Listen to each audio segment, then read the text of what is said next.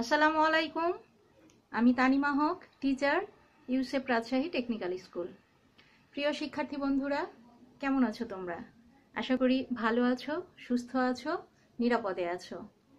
সেই সাথে লেখাপড়াটাও চালিয়ে যাচ্ছ। আমরা গত ভিডিওতে পদার্থের অবস্থা ও চাপ এই অধ্যায়ের চাপ কাকে বলে, চাপের সূত্র, এক প্যাসকেল চাপ বলতে কি বোঝায়, আমরা এই জিনিসগুলো শিখেছিলাম। এবং আরও একটা জিনিস শিখেছিলাম যে তরলের ভেতরে চাপ নির্ণয় করার যে সূত্র তা প্রতিপাদন এটা আমরা শিখেছিলাম। আজকে আমি চাপ সম্পর্কিত একটা সৃজনশীল কোশ্চিন তোমাদের করাবো। তোমরা অবশ্যই মনোযোগ দিয়ে দেখবে, এই কোশ্চিনটা খুব ইম্পর্টেন্ট ঠিক আছে? দেখো বোর্ডে লেখা আছে টু মিটার দৈর্ঘ্য ও এক মিটার প্রস্থচ্ছেদ বিশিষ্ট একটি বস্তু পি এর উপর পাঁচশো নিউটন বল প্রয়োগ করা হলো। তাহলে কি বলল? যে একটা বস্তু, যার নাম হচ্ছে পি তার দৈর্ঘ্য হচ্ছে দুই মিটার আর প্রস্থ হচ্ছে এক মিটার। ওই বস্তুটার উপরে পাঁচশো নিউটন বল প্রয়োগ করা হলো। এবারে বলছে, চার মিটার দৈর্ঘ্য ও জিরো পয়েন্ট টু মিটার প্রস্থের আর একটি বস্তু কিউ এর ওপর সমান বল প্রয়োগ করা হলো। দ্যাট মিনস এখানে দুটো বস্তু আছে, একটা হচ্ছে পি একটা হচ্ছে পি আর একটা হচ্ছে কিউ তো দুটো বস্তুতেই কিন্তু সমান বল প্রয়োগ করা হয়েছে। এই যে পাঁচশো নিউটন, এখানে বলেছে সমান বল, তার মানে কি? পাঁচশো নিউটন বল প্রয়োগ করা হয়েছে। কিন্তু দুটো দুটো বস্তুর সাইজ আলাদা। প্রথমটা হচ্ছে দুই মিটার দৈর্ঘ্য আর এক মিটার প্রস্থ, আর দ্বিতীয়টা হচ্ছে চার মিটার দৈর্ঘ্য, আর প্রস্থ হচ্ছে পয়েন্ট টু মিটার প্রশ্নগুলো কি বলেছে দেখো? বলেছে চাপ কাকে বলে? আমি গত ভিডিওতে পড়িয়েছি চাপ কাকে বলে, সুতরাং তোমরা এটা পারবা। তারপরেও আমি আবার বলে দিচ্ছি, কোনো বস্তুর একক ক্ষেত্রফলের উপর লম্বভাবে প্রযুক্ত বলকেই চাপ বলে, তাই না? চাপের একক হচ্ছে প্যাসকেল। এখন বলছে, খ নাম্বার দেখো, চাপ কোন কোন বিষয়ের উপর নির্ভরশীল, তাই না? চাপ কি কি? তাহলে আমাদের সূত্রটা মনে করতে হবে যে চাপ সমান কি ছিল? আমাদের পি সমান এফ বাই এ ছিল, তাই না? এফ হচ্ছে বল আর এ হচ্ছে ক্ষেত্রফল। তাহলে এই বল সমান আবার কি? এফ সমান আবার আমরা জানি ভর ইন্টু ত্বরণ, তাই না? এটা এটা পড়েছি না? ভর ইন্টু ত্বরণ। মানে হচ্ছে কি? M G. তাহলে মূলত চাপ নির্ভর করে বস্তুর ভর, ত্বরণ এবং ক্ষেত্রফলের উপরে। তরলের ক্ষেত্রে আরও কিছু বিষয়ের উপরে চাপ নির্ভর করে, যেমন হচ্ছে উচ্চতা বা তরলের গভীরতা এবং ঘনত্ব। যে তরল তরলটা যে উপাদান, সেই উপাদানের ঘনত্বের উপরে নির্ভর করে। তাহলে আশা করি বুঝতে পেরেছ কি কি বিষয়ের উপরে নির্ভর করে চাপ। তাহলে বস্তুর ভর, ত্বরণ, ক্ষেত্রফল এবং তরলের ক্ষেত্রে তরলের গভীরতা এবং তরলের ঘনত্বের উপরে চাপ নির্ভর করে। ক্লিয়ার এইবারে আমরা মূল বিষয়ে আসব গ নাম্বার, যেটা আমাদের গাণিতিক প্রবলেম দেখো, এখানে বলেছে পি বস্তুর ওপর চাপের মান নির্ণয় করো। কার ওপর? পি পি বস্তুর ওপর। আমাদের এখানে আমি প্রথমেই বলেছি যে পি এবং কিউ দুটো বস্তু রয়েছে। এখন এখানে আমাকে গ নাম্বারে চেয়েছে পি বস্তুর ওপর চাপের মান নির্ণয় করো। তাহলে আমরা চাপের সূত্র জানি। আর এখানে কি কি দেয়া আছে সেটা আমরা জেনে নিব। দেখে নি এখানে কি কি দেয়া আছে আমাদের? আমি লিখে নি এখানে পি বস্তুর ক্ষেত্রে, আমি এই কথাটা লিখব। পি বস্তুর ক্ষেত্রে কি কি দেয়া আছে?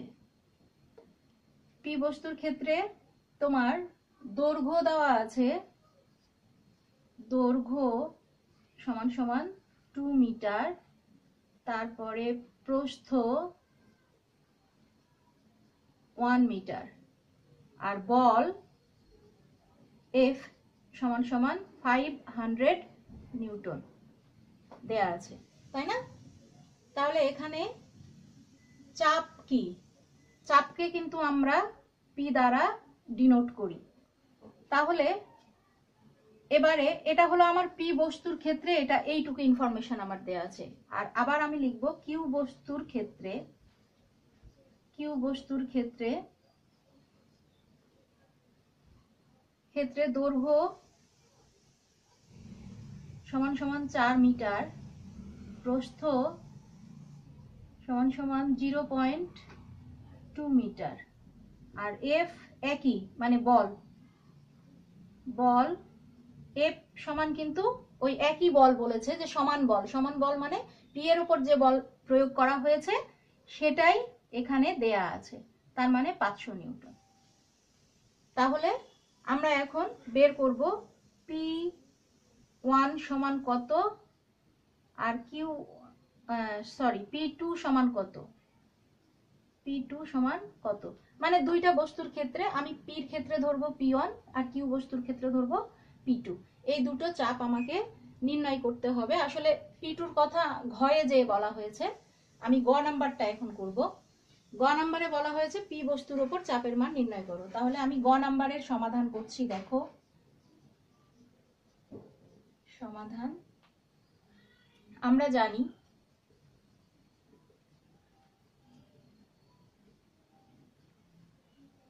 চাপ পি ওয়ান সমান সমান হচ্ছে এফ বাই এ আচ্ছা। এখানে, আমরা এখানে দেখো আমাদের কিন্তু এর মান মানে ক্ষেত্রফল। এ মানে কি? ক্ষেত্রফল, আমরা জানি, তাই না? আর এফ মানে হচ্ছে বল। তো এখানে কি ক্ষেত্রফলের মান দেয়া আছে? নেই। তাহলে আমরা কি করব? এই জায়গাটায় আমি বের করে নিব, অতএব এখানে একটু ছোট করে লিখে নিবা। এখানে আমার জায়গা কম এই জন্য এভাবে লিখছি। ক্ষেত্রফল এ সমান সমান দৈর্ঘ্য ইন্টু প্রস্থ। আমরা জানি, তাই জানি না? যে ক্ষেত্রফলের সূত্র কি? দৈর্ঘ্য ইন্টু প্রস্থ। বুঝতে পারছ? আমার কথা লেখা এখানে একটু ছোট ছোট হয়ে গেল। ক্ষেত্রফল এ সমান সমান দৈর্ঘ্য ইন্টু প্রস্থ। তার মানে দৈর্ঘ্য হচ্ছে টু ইন্টু প্রস্থ হচ্ছে ওয়ান তার মানে হচ্ছে দুই এককে দুই কি হবে? Metre square. ক্ষেত্রফলের একক কিন্তু মিটার স্কোয়ার। ঠিক আছে? এত মিটার স্কোয়ার। তাহলে আমরা এর মান কত পেলাম? টু মিটার স্কোয়ার ক্ষেত্রফলের মান পেলাম। এখন আমি এখানে কি করব? জাস্ট ওখান থেকে মানটা বসাই দিব। এফ হচ্ছে পাঁচশো, আর এ হচ্ছে টু মিটার স্কোয়ার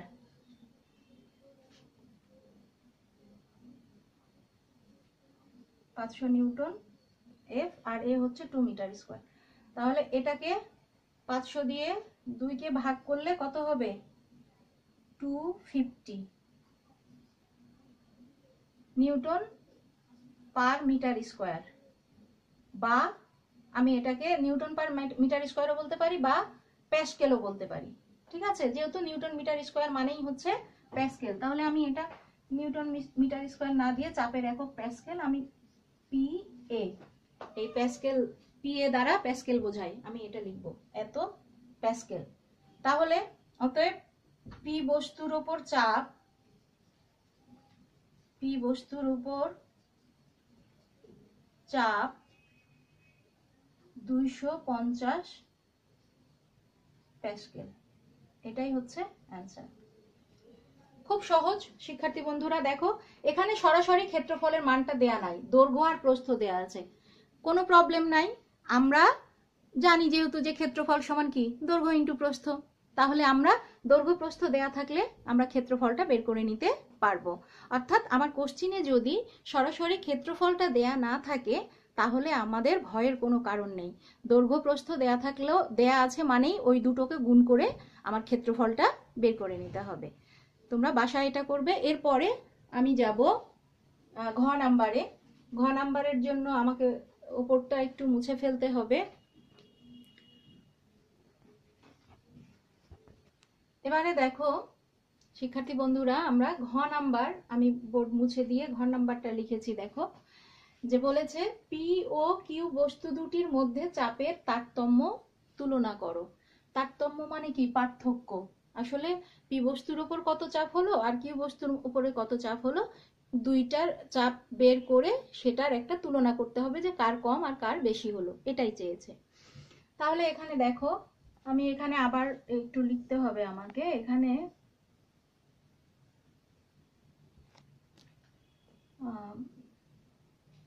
দৈর্ঘ্য, আমি আগেরটাতেই লিখেছিলাম, দৈর্ঘ্য চার মিটার, প্রস্থ জিরো পয়েন্ট টু মিটার অতএব ক্ষেত্রফল ক্ষেত্রফল এ ইকুয়াল টু দৈর্ঘ্য ইন্টু প্রস্থ। এটা তো আমাদের সূত্র, তাই না? তাহলে দৈর্ঘ্য হচ্ছে চার মিটার, চার ইন্টু প্রস্থ হচ্ছে জিরো পয়েন্ট টু তো মিটার স্কোয়ার। আচ্ছা এবারে তাহলে কত হলো? Zero point eight metre square. That means আমাদের ক্ষেত্রফল এর মান বের হলো zero point eight metre square আর বল এফ সমান দেয়া আছে যে এখানে বলা হয়েছে কিউ এর উপর সমান বল। তাহলে সমান বল হচ্ছে তার মানে এই যে পি এর উপর যে বল প্রয়োগ করা হয়েছিল সেই বলটাই এখানে হবে। তার মানে পাঁচশো নিউটন বল। পাঁচশো নিউটন। পি টু সমান কত? আমরা কিউ বস্তুর ক্ষেত্রে পি টু ধরেছি, তাই না? চাপ পি টু সমান কত? তাহলে এখন এখানে দেখো, এখানে লিখতে হবে, আমরা জানি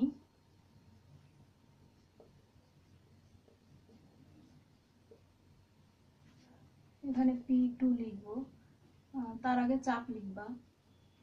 চাপ পি টু সমান সমান এফ বাই এ তাহলে এফ এর মান হচ্ছে পাঁচশো নিউটন, আর এখানে এ হচ্ছে zero point eight metre square. তাহলে এটা ভাগ করলে কত হয় দেখি? পাঁচশো পয়েন্ট এইট। ছয়শো পঁচিশ। ছয়শো পঁচিশ প্যাসকেল। তাহলে দেখো, এখানে আগে আমরা কত পেয়েছিলাম? দুইশো পঞ্চাশ। ওখানে কত পেয়েছিলাম? দুইশো পঞ্চাশ প্যাসকেল পেয়েছিলাম গতে, না? তাহলে এখানে আমরা এখন এখানে লিখে দিব যে অতএব কিউ বস্তুর উপর চাপ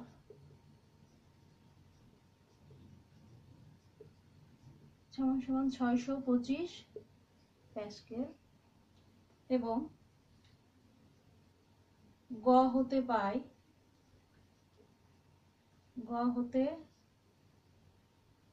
প্রাপ্ত চাপ, গ হতে প্রাপ্ত পি বস্তুর উপর চাপ, পি বস্তুর উপর চাপ চাপ সমান সমান কত ছিল? দুইশো পঞ্চাশ প্যাসকেল তাহলে আমাকে এখানে দেখো আমি গ এরটাও পেয়েছি সরি পি এরটাও, পি বস্তুর উপরেও চাপ পেয়েছি, কিউ বস্তুর উপরেও চাপ পেয়েছি। তো এখন আমাকে কি বের করতে বলেছে? পি ও কিউ বস্তু দুটির মধ্যে চাপের তারতম্য মানে চাপের পার্থক্য কত হবে তুলনা করো। তাহলে পি, এখন লিখব যে অতএব উপরোক্ত গাণিতিক বিশ্লেষণ থেকে উপরোক্ত গাণিতিক বিশ্লেষণ থেকে বিশ্লেষণ হতে দেখা যায় যে, দেখা যায় যে পি ও কিউ বস্তুর ওপর চাপের পার্থক্য পার্থক্য সমান সমান কত? বড়টা থেকে ছোটটা বাদ দিব। ছয়শো পঁচিশ মাইনাস দুইশো পঞ্চাশ প্যাসকেল ইকুয়াল টু ছয়শো পঁচিশ মাইনাস দুইশো পঞ্চাশ ইকুয়াল টু তিনশো পঁচাত্তর। তিনশো পঁচাত্তর প্যাসকেল। তাহলে নির্ণয় উত্তর তিনশো পঁচাত্তর প্যাসকেল শেষ। তাহলে দেখো, শিক্ষার্থী বন্ধুরা, খুব ইজি তাই না? এবং আমরা প্রমাণও পেলাম যে যখন আমরা গতে করেছিলাম, গয়ের ক্ষেত্রফল ছিল কত? টু তাহলে আমরা বলেছিলাম ক্ষেত্রফল বড় হলে চাপ কম হবে। তাহলে এই যে গয়ের দেখো, চাপ কিন্তু কম, দুইশো পঞ্চাশ। আর ক্ষেত্রফল যত ছোট হবে, তাহলে দুইয়ের চাইতে পয়েন্ট এইট অনেক ছোট, তাহলে এই ক্ষেত্রে কিন্তু চাপ বেড়েছে। তাহলে ক্ষেত্রফল কম হলে চাপ বাড়বে। তুমি নিজেই বুঝতে পারবে যে তোমার অঙ্ক হয়েছে কিনা। এটা কিন্তু একটা বড় বিষয় যে পরীক্ষার হলে তুমি অঙ্ক করছ বাট তুমি বুঝতে পারছ কিনা যে তোমার অঙ্ক হচ্ছে কিনা। তবে এইটা যদি তোমার মাথায় থাকে যে হ্যাঁ চাপের সাথে ক্ষেত্রফলের সম্পর্ক হচ্ছে ব্যস্তানুপাতিক, অর্থাৎ উল্টানুপাতিক, যে যদি ক্ষেত্রফল কম হয়, চাপের মান বড় হবে। আর ক্ষেত্রফল যদি বেশি হয়, তাহলে চাপের মান কমে যাবে। তাহলে এই ক্ষেত্রে তুমি দেখো পি এবং কিউ বস্তুর উপরে চাপ বের করে তুমি বুঝতে পারবে যে তোমার অঙ্ক ঠিক হয়েছে নাকি ভুল হয়েছে। তোমার এখানে যদি মান কম আসতো ঘ নাম্বারে, গয়ের চাইতে তাহলে নিশ্চয়ই তোমার অঙ্ক ভুল হতো। কারণ এখানে ক্ষেত্রফল কম আছে। তার মানে অবশ্যই এখানে এই চাপের মানটা বেশি হবে, কার চাইতে? গয়ের চাইতে। কারণ গয়ে ক্ষেত্রফলের মানটা বড় ছিল। ক্লিয়ার তাহলে তোমরা নিজেরাই কিন্তু বুঝতে পারবে যে তোমার অঙ্ক হয়েছে কি হয়নি। তো শিক্ষার্থী বন্ধুরা, আজকে এ পর্যন্তই। তোমরা এই সৃজনশীল কোশ্চিনটা অবশ্যই বাসায় আজকেই কমপ্লিট করে নেবে এবং অঙ্কগুলি বারবার প্র্যাকটিস করবে। সেই সাথে সূত্রগুলো মনে রাখবে কিন্তু, যে চাপ নির্ণয় করার সূত্র, দেখো চাপ নির্ণয় করার সূত্র কিন্তু আমি দুটো তোমাদেরকে গত ভিডিওতে দেখিয়েছিলাম। একটা হচ্ছে এই যে এমনি নর্মালি কোনো বস্তুর উপরে চাপ প্রয়োগ করলে সেই চাপ কেমন হবে সেটা, আর তরলের ভেতরে চাপ নির্ণয় করার সূত্র কিন্তু আরেকটা। এটা কিন্তু খেয়াল রাখতে হবে তোমাকে। ঠিক আছে বন্ধুরা, আমি পরবর্তী ভিডিওতে তরলের ভেতরে চাপ নির্ণয় করার যে সূত্র, সেই সূত্র দিয়ে কিছু গাণিতিক প্রবলেম সলভ করা দেখাবো। তো ধন্যবাদ, তোমরা বেশি বেশি অনুশীলন করো, লেখাপড়া করো বাসায়, ভালো থাকো, সুস্থ থাকো, ঘরে থাকো, নিরাপদে থাকো, সেই সাথে আমার ভিডিও মনোযোগ দিয়ে দেখো সাবস্ক্রাইব করো লাইক দাও, আর যদি কোনো জায়গায় বুঝতে না পারো, তাহলে অবশ্যই আমাকে আমার মেসেঞ্জার গ্রুপে নক করবে। আমার যে ফিজিক্স গ্রুপ আছে সেখানে, অথবা তুমি ইউটিউবে কমেন্ট করেই জানাও। ধন্যবাদ সবাইকে। আসসালামু আলাইকুম।